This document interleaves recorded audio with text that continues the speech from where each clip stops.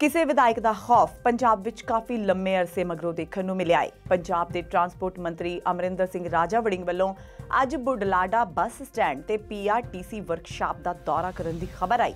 ਇਸ ਖਬਰ ਨੂੰ ਲੈ ਕੇ ਇੱਕ ਵੱਖਰਾ ਨਜ਼ਾਰਾ ਉਸ ਸਮੇਂ ਦੇਖਣ ਨੂੰ ਮਿਲਿਆ, ਜਦੋਂ ਬੱਸ ਸਟੈਂਡ ਬੁਢਲਾਡਾ ਅੰਦਰ ਪ੍ਰਾਈਵੇਟ ਟਰਾਂਸਪੋਰਟਰਾਂ ਵੱਲੋਂ ਬਿਨਾਂ ਟੈਕਸ ਭਰੇ ਤੇ ਅਣਅਧਿਕਾਰਿਤ ਰੂਟਾਂ ਤੇ ਚਲਦੀਆਂ ਬੱਸਾਂ ਬੱਸ ਸਟੈਂਡ ਵਿੱਚੋਂ ਬਾਹਰ ਕੱਢ ਦਿੱਤੀਆਂ ਗਈਆਂ।